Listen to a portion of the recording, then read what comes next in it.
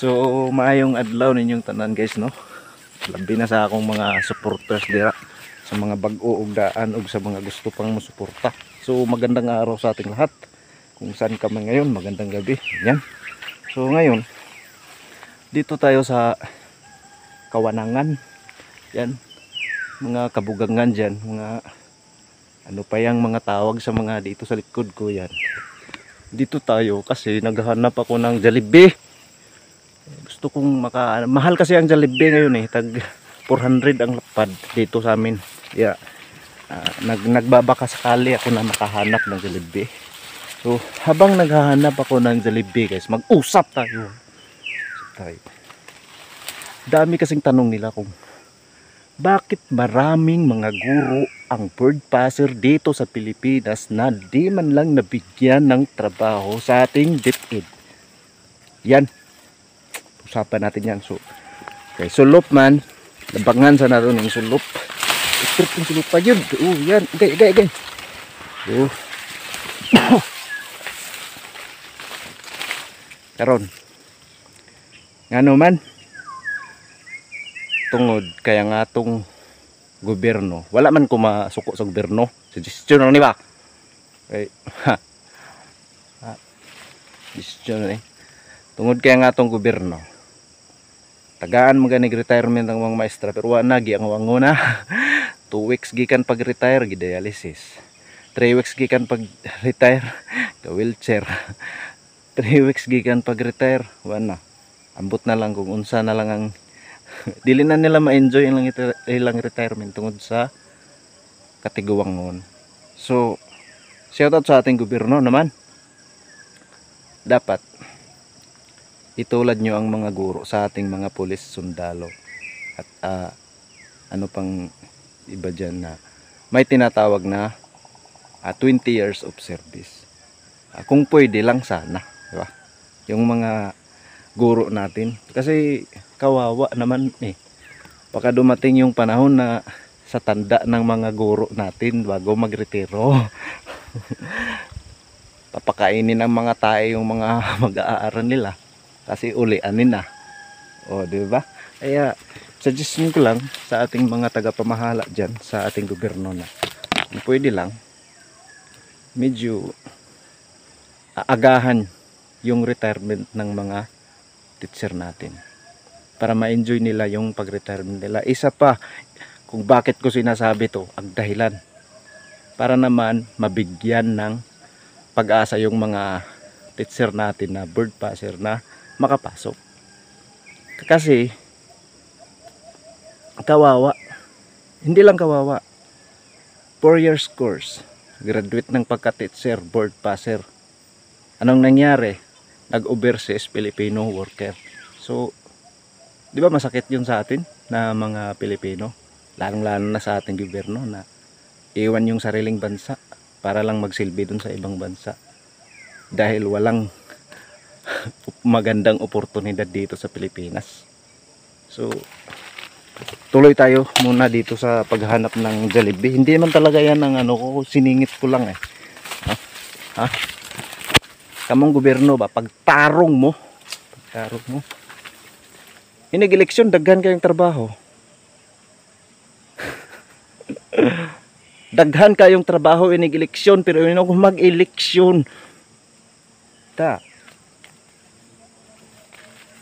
Kay hapit na ta guys, di na ta karon sa mo nagibalayan magud sa una guys, dira oh.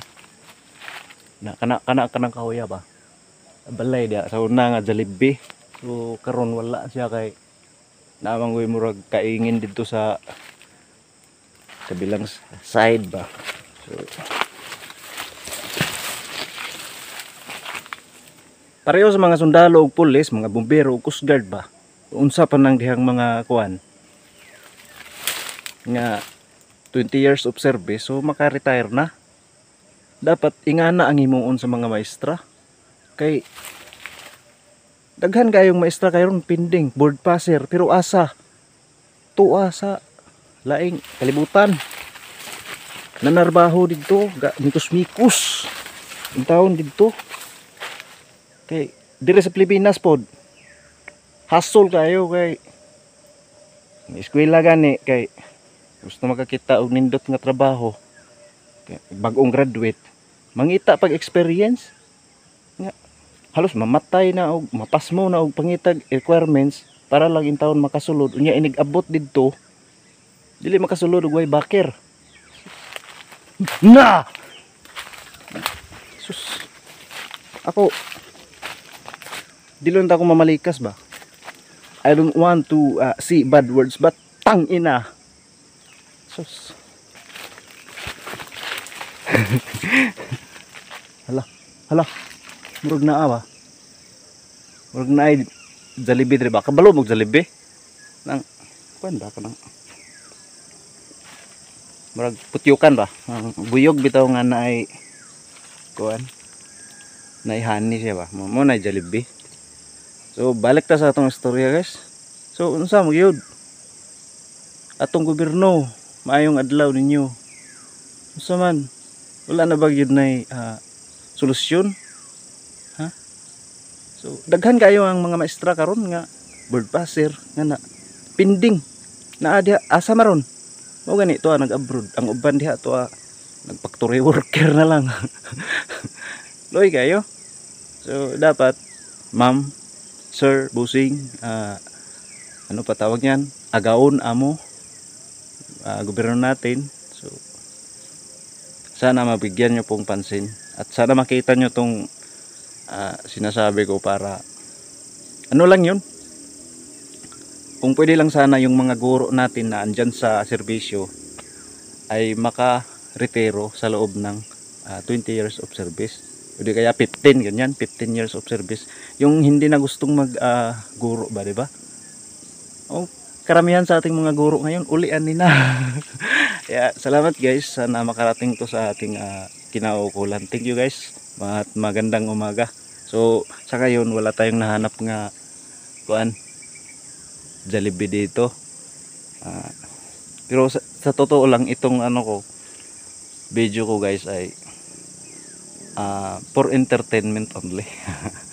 not just for fun but for just only. Ah, thank you guys ha.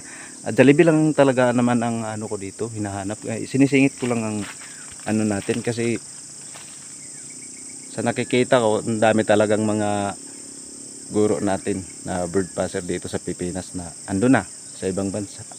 Wala na. Tapos andito da, libo-libo pa yung andito sa Pilipinas na, na imbis na magturo. So anong ginawa? Naghanap na lang ng ibang trabaho para lang makaraos sa buhay, no? So hindi pa hindi lang guro eh. Hindi lang guro. Yun nga sabi ko kanina, sa eleksyon lang lumalabas ang maraming trabaho pero pagkatapos ng eleksyon, bahala na kayo sa buhay nyo.